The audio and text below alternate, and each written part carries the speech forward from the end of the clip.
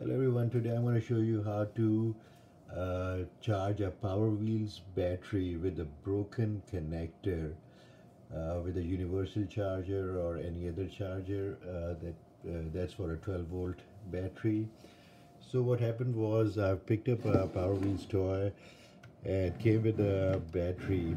And when I plugged in the universal charger I got it from Walmart for you can buy it for like $39 or something like that. It comes with different connectors. This is a 12 volt connector. So once I plugged in this 12 volt connector and plugged in the universal charger it would light up it would show power but there was no charging or nothing. So uh, what I did was uh, let me unplug the the universal charger wait till the light goes off. Unplug that. I opened the battery uh, you can easily take the the top off uh, with like a screwdriver or something just pry open all the little ends at the end that takes it off and the connector is in there. And if you look closely uh, I don't know if you can see it but one of the metal things inside where the uh, where the connectors uh, one end was touching it wasn't touching it so it was broken so uh, to get that fixed what I did was uh, went to Advanced Auto Part or somewhere you can go to car auto part auto store buy like a little alligator clip. Uh, it's like for three bucks or two bucks uh, wherever you are. And uh, you just take uh, your alligator clips. All right with the universal charger just unplug the end and make sure your all right. You won't see the positive or negative if it's not marked. So what you can do is look at your connector. It should have a positive and a negative uh, marking at the end. So let's see. So right here we've got a negative and a positive so just make sure which one is positive which one is negative. I'm going to use the black wire for positive. I'm going to clip it in and not on this end actually sorry. So the connector goes here. So instead of cutting all these wires up and plugging the, the, these wires in and uh, putting that in all you have to do is just unscrew unplug the connector make sure you know which one is positive.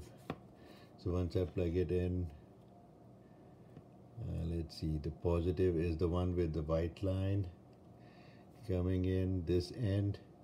So I just follow it. So this is the positive. So I'm going to plug in my black. Positive wire to that one all right the other end let's see. I'm gonna plug in my negative cable wire to this end. All right so got red as negative black as positive. On the battery it would mark clearly as which one is positive. So this end is positive I'm going to plug it into the other end instead of putting it right in the in the middle because that connector was broken one of the ones. So I'm going to instead hook up the positive to the left to the main jack and the negative to the negative end. So again want to make sure the positive goes to positive and negative goes to negative. Positive is the striped wire which is black. All right.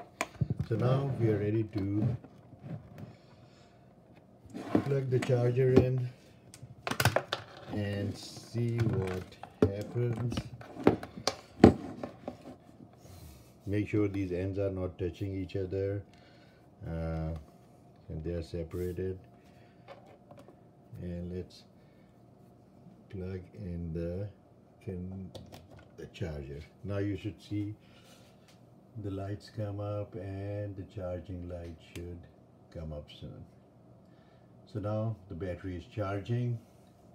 So that's how you plug in uh, you go work around a broken connector on a 12 volt battery instead of cutting all these wires and um, and trying to charge it just by an alligator clip and a universal charger or even the charger that came with your power wheels car. So thank you for watching. Uh, will uh, please subscribe. I will bring you some more uh, interesting videos. Thank you